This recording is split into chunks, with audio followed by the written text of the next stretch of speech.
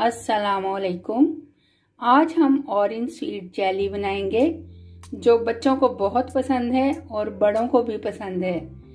आप इसको ज़रूर बनाइएगा। चलिए, बनाना शुरू करते हैं। इनका हम जूस निकाल लेंगे।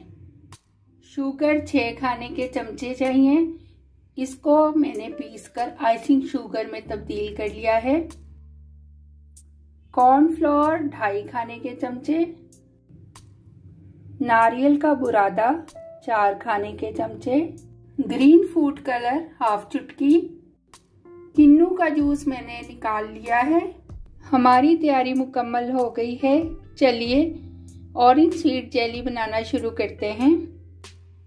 एक पैन लिया है और उसके अंदर हमने ऑरेंज जूस डाल दिया है। स्लो फ्लेम पर अब हम इसमें आइसिंग शुगर शामिल करेंगे।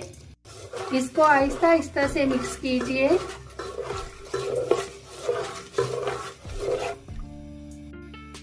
अब इसमें कॉर्नफ्लोर शामिल कर दीजिए। स्लो फ्लेम पर चम्मच हिलाते चले जाएँ।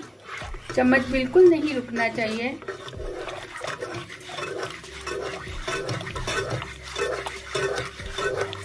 इसको मुसलसल चम्मच को चलाते रहे हैं।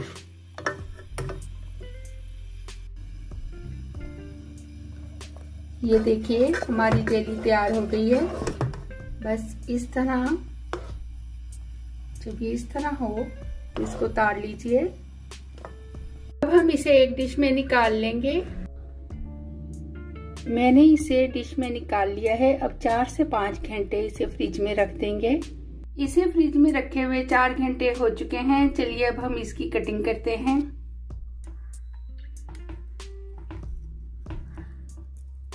साइड से इसकी कटिंग कर लीजिए।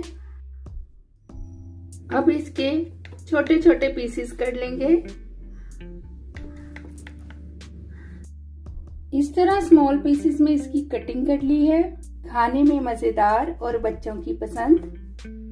जेली की कटिंग हो चुकी है, अब इसे हम कोकोनट लगाएँगे। थोड़े से नारियल के बुरादे में ग्रीन फ़ूड कलर शामिल कर लिया है। और बाकी नारियल का बुरादा वाइट रहने दिया है। अब जेली के एक पीस को हम नारियल का बुरादा दोनों तरफ़ लगा लेंगे। देखिए, नारियल का बुरादा हमने दोनों तरफ़ लगा लिया है। अब हम जेली के पीस पर व्हाइट कोकोनट लगाएँगे।